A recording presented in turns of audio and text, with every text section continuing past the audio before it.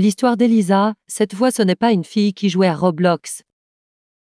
Elisa était une adulte de 24 ans, son nom complet est Elisa Johnson. Elisa adorait tout ce qui était horreur, donc elle décida d'aller faire du camping dans une des forêts les plus santées de son pays. Elle attendit la nuit pour se préparer en tenue de randonnée, elle arriva à la forêt à 1h38 puis posa sa tente, ses affaires et prit sa lampe torche. Elle eut à peine sorti la tête de la tente qu'elle vit une ombre passer à toute vitesse devant sa tente.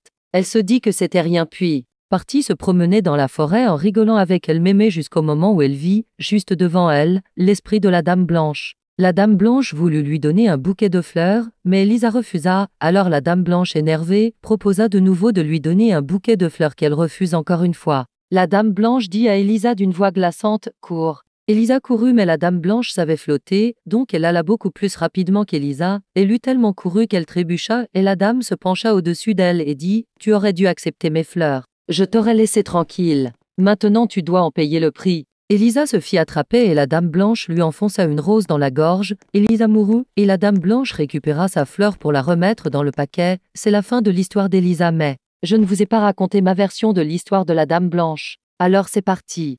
C'est l'histoire d'une jeune femme mariée qui se fit sauvagement assassiner par sa sœur jalouse de son mariage. La sœur était amoureuse du bien-aimé d'Elisa, car oui, dans ma version la dame blanche s'appelle comme la fille pour chasser son esprit décida d'aller errer dans la forêt préférée de sa sœur en espérant de la trouver et de se venger, sauf que sa sœur se fit renverser par une voiture et Elisa n'eut jamais sa vengeance et resta à Eredan les forêts du monde entier. Les personnes qui l'ont vu ont décidé de l'appeler la Dame Blanche. Les fleurs préférées de la Dame Blanche étaient les roses couleur sang, c'était les couleurs de son bouquet de fleurs de mariage qu'elle ne lâchait jamais, ainsi, avec ce bouquet, dès qu'elle croisait quelqu'un elle tenta de donner son bouquet de fleurs et si la personne disait oui, elle la laissa tranquille si la personne prenait le bouquet et le jeta par la suite. La dame blanche avait un voile sur lui, donc s'il recommençait, il allait se faire tuer. Et si la personne refuse, la dame blanche demande une deuxième fois, et s'il, elle refuse encore, il se fait enfoncer une rose dans la gorge.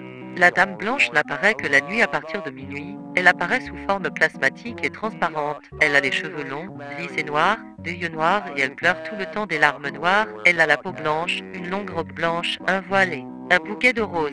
Elle a du rouge à lèvres et du sang coule en continu de sa bouche. Sa robe est tachetée de sang et ses pieds sont nus.